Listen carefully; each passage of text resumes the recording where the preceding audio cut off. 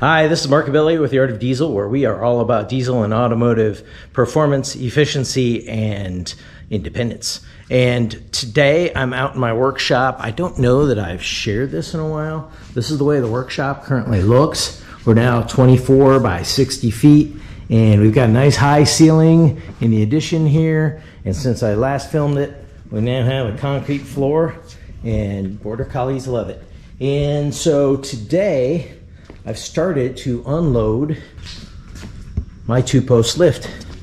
I bought this, uh, it's an Atlas 9K BP, and I'm about to try and see if I can unload these big posts. I had other parts, these arms were kind of nested inside the upper post, as were the cable and the hose here, and this base plate was just kind of wedged at an angle in between the two uh, posts. The posts are mounted in the steel frame right here. They're bolted in. From the instructions I've read, I want to hang on to these bolts because they're actually used in the construction of the thing. And what we're looking at here is the base of one post. This is the carriage that will move up and down the post. The arms will drop into these holes. And you can see the chain sitting at the top of the hydraulic tube.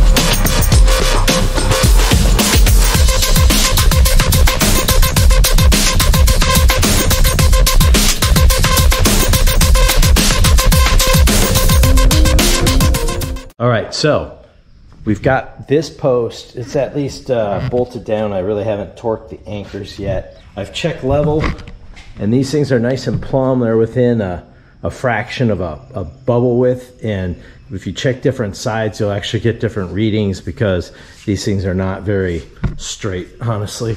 Um, but I think uh, I think we're really, really close to being plumb with these. I'm not going to use the shims. Place the second column based on the first column. Once you've got that in place, this is really going to dictate where this is. Now, one problem I ran into in the instructions is that these dimensions are wrong. These things are not 13 and a half inches wide. Um, and you won't actually achieve these dimensions. So I worried most about the internal dimension, and we're pretty close. I set the plate down and made sure that I would have enough room for the base plate here that goes between them. I measured. I went from this corner diagonally to this corner over here and made sure that the columns were square and in line with each other. I took a red Sharpie and just scored a line around it in case it shifts around at all.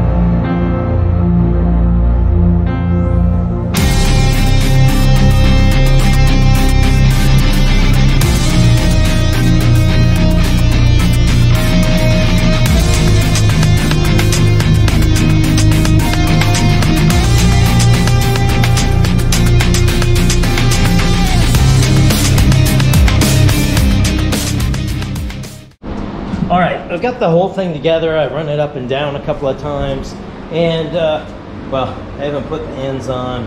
I still haven't put the bottom plate down, but I wanted to run it up and down a few times and just check for leaks and that sort of thing because there's a fair amount of pressure in this line that runs through here. And um, I was getting a fair amount of leakage. I've lowered the I've lowered the lift to the lowest position possible right now, and I'll explain why in a moment. Um, but I always get leakage down here, and I kept mopping it up, and I tightened these fittings, and I couldn't figure out why it was leaking. I'd seen similar leakage over on the other end, and I've tightened up those fittings, and that seems to have fixed the problem, but I was still getting it over on this end. And I was mopping around, and then it occurred to me there's this fitting that I've never touched, and it turns out that my leakage is over here. I discovered that anytime I run it, I get drippage right here, and I'm wiping some off with my fingertips right now, um, coming from this plug. Now, these cylinders are the same on both sides, the hydraulic cylinders, and on the other side, this is where you feed in from the hydraulic pump to lift the cylinders. On this side, it's just plugged off. Well, because I haven't touched it, I never removed it, and I probably should have done like this and put some Teflon tape on here. And I've tried tightening that, and it doesn't make a difference. It still drips. If I just go ahead and pull this plug, we're going to drain any fluid that's left in this cylinder here. That we're going to drain any fluid that's on the cylinder on the other side, and we're likely to start siphoning fluid out of the reservoir hanging on the side of the other pillar. So what I need to do is I need to take a couple actions to minimize how much leakage I'm going to get because I'm going to have to remove this and at least put some Teflon tape on it. But by disconnecting this hose, I can minimize the amount of siphoning that will take place. While I was working over on this side, I found this on the ground. This is the plug I removed in order to put the system in in order to connect the hose down below on this side. So I've got an extra one of these plugs. So what I'm going to do is I'm going to make certain I have this prepared and ready to go. I'll cover this in Teflon tape and I'll have this ready to go so that when I pull one, I can put the other one in quick and minimize how much fluid I lose. Note that I've got this guy ready to go and at a moment's notice,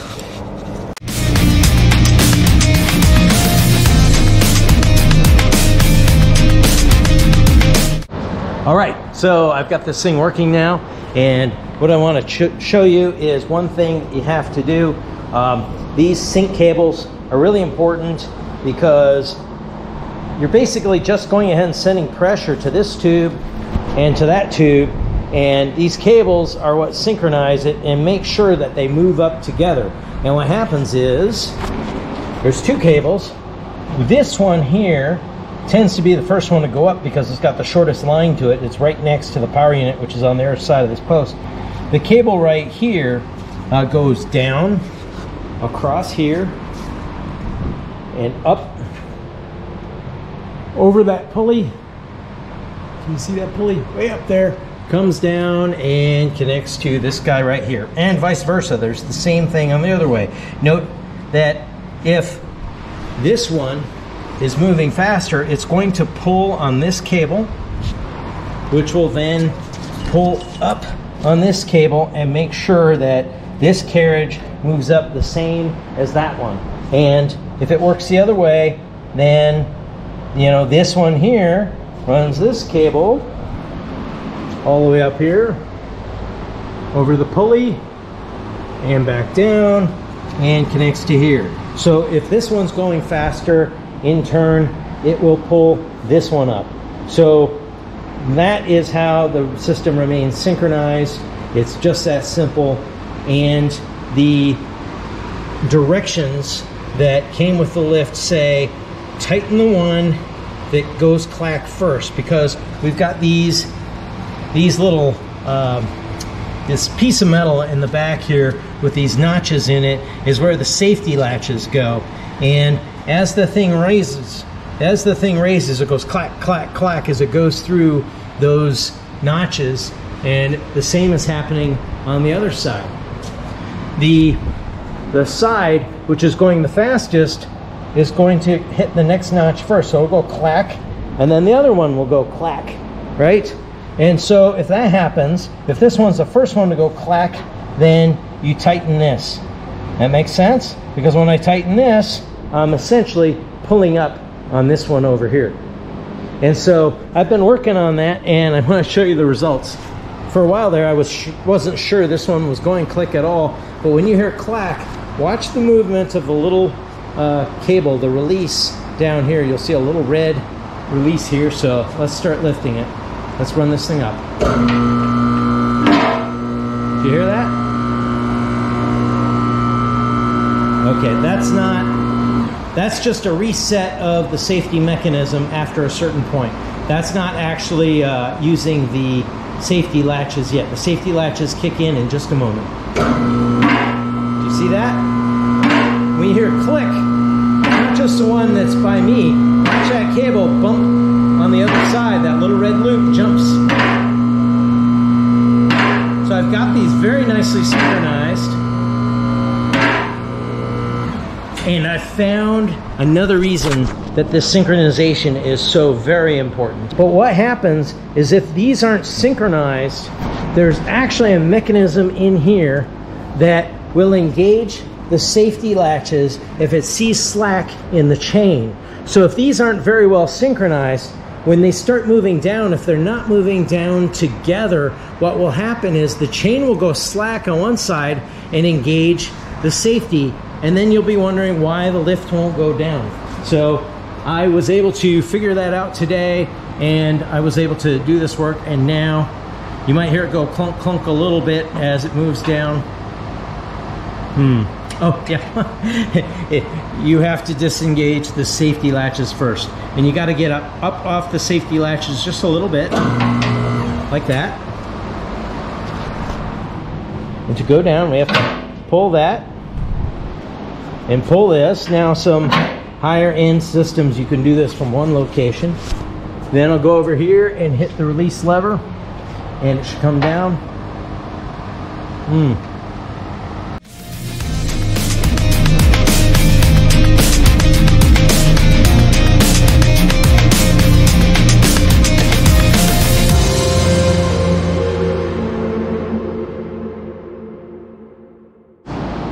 Here it is all in place, ready to go, and fully functional.